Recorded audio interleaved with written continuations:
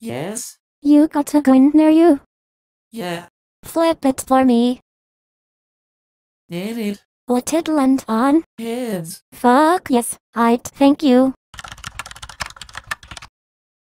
Huh?